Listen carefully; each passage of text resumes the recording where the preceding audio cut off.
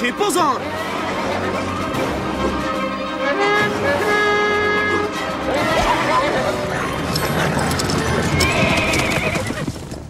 Slyšeli jste to? Kdo může být v tuto dobu v lese? Franz. A, viděla jsem odpoledne v lese dva cizince. Jsou zřejmě v nebezpečí.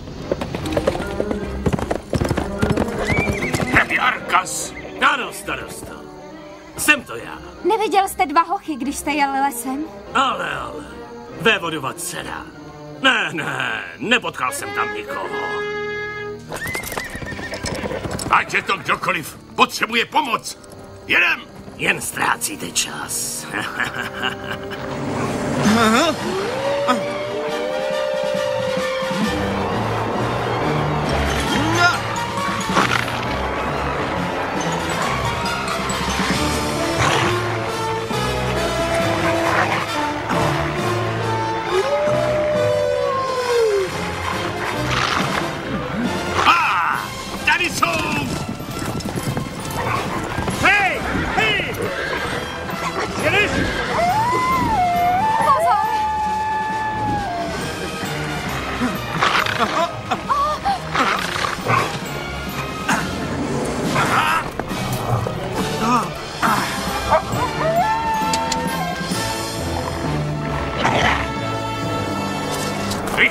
můžou se vrátit. Můj bratr je zraněn. Položte ho na koně. V posi se o něj postaráme.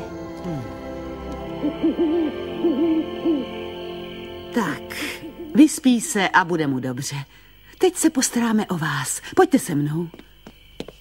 Vlk ho srazil k zemi a všechno vypadalo ztraceně.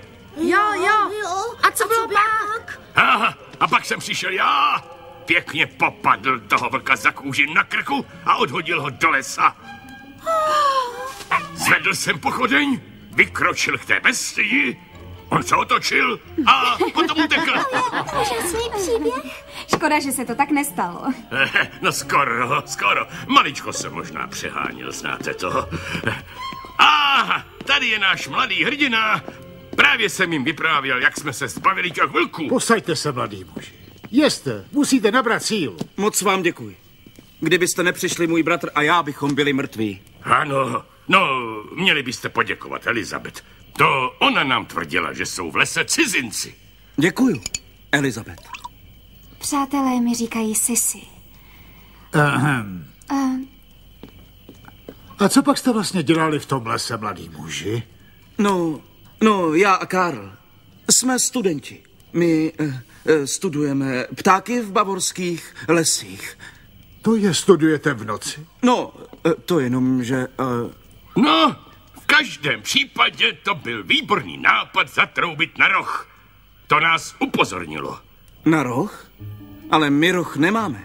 Cože? Ale kdo to tedy troubil? Nemám ponětí. No, něco vám řeknu, mladíku. Ten, kdo zatroubil na roh, vám zachránil život. Tommy.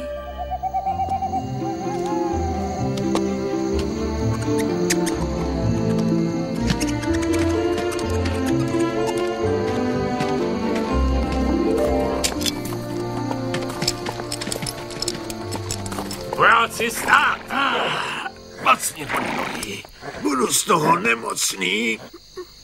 Je hrozná tma, že jo? Ticho, vojáci. Nesmí nás najít, Proč, seržante? protože je to rozkaz a o rozkazech se nediskutuje. Jestli ještě uslyším jediné slovo, tak budete škrábat brambory a bude to na samotce, jestli nenajdem císařské prince. Císařské prince. No, kdyby nezaspal, tak bychom tady nebyli. Vojáku, máš tři dny nucených prací Koledoval si o to. a vy pět dní. Já se nebojím, seržante. Nejdeme je. Princové přece nemohou zmizet. Osm dní pro vás, vojáku. A aby vám to nebylo líto, dostanete osm dnů všichni. Vojáci, pochrém vchod. A potichu.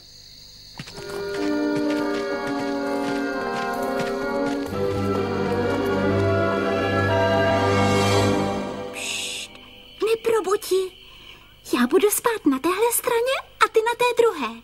Ale moc se nevrť, slečna Luisa má velmi lehké spaní. Týno, proč zavřeli tátu do vězení? Neboj se, Lízo. Vězení je pro zlé lidi a tvůj otec je moc hodný. Můj táta to řekl. Tak tvého otce jistě pustí.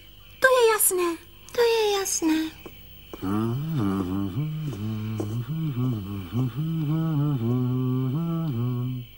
Ludoviko, už spíš? Ano, a ty bys měl také.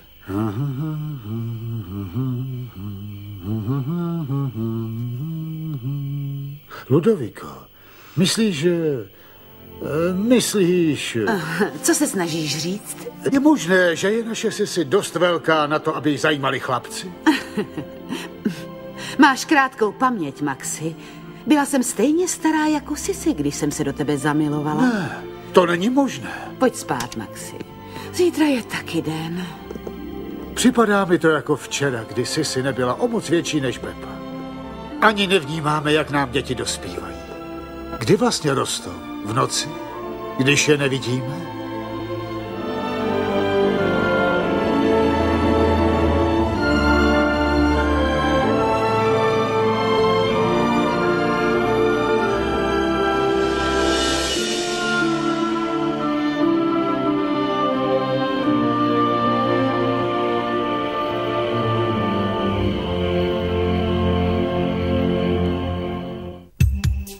Na českém znění spolupracovali Jitka Ješková, Michal Jagelka, Michal Michálek, Daniela Bartáková, Marcel Vašinka, Alena Procházková, Jana Altmanová, Radka Malá, Monika Motlová, Dalimil Klapka, Vladimír Fischer, Luboš Bíža, Adam Lanči, Pavel Ditr a další.